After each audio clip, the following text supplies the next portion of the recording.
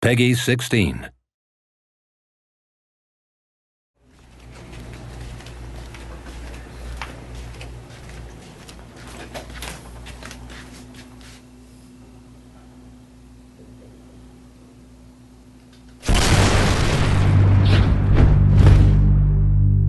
I want to look into some weird behavior we spotted last night in PhysX where things just decided to take five times longer than normal for no apparent reason.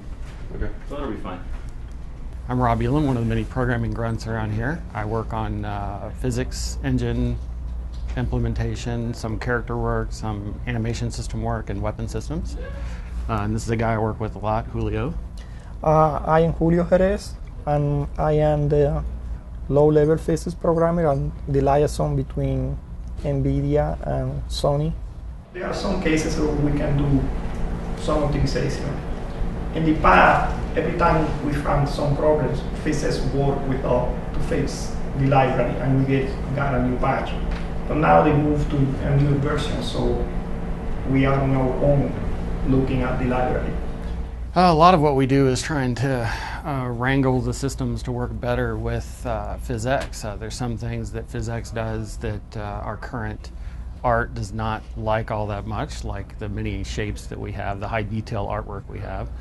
Uh, so a lot of Julio's work has actually been trying to improve the way we interact with it and the way that those systems in PhysX actually work.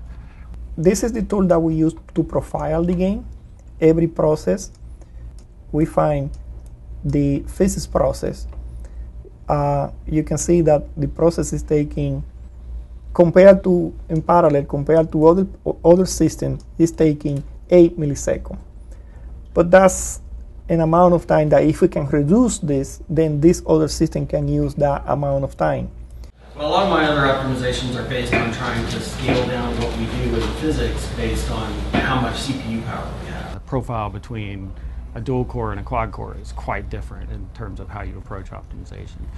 So a lot of our work is kind of figuring out what we can effectively not do on those systems and how we can try to not do that, have it adapt to those lower end systems without punishing people with high end systems. So as much adaptive scaling as we can achieve uh, within reason. What you doing, dude? Um, I see some code in there. Let me see what's going on here. Oh, dude, you I'm missed a writing, line. I'm writing a book. It's just a really boring book. Yeah, this allows us to see uh, exactly what's happening in the physics threads. Uh, so different processes that uh, PhysX runs, which helps us to determine do we have problems with the number of objects in the scene, or do we have problems with the objects actually hitting each other, or the uh, density of the shapes inside of those objects.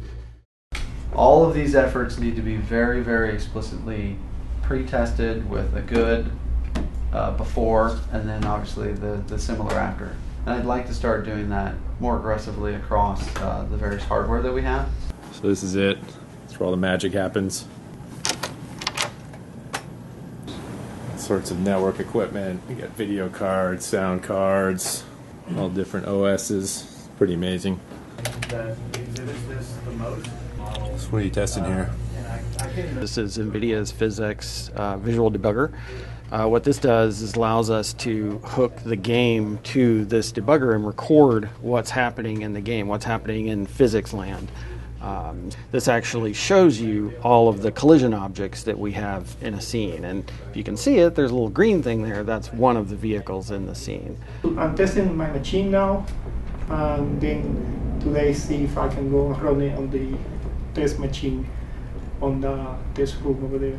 But uh, if, this works, uh, this it could be a very big impact on the physics of the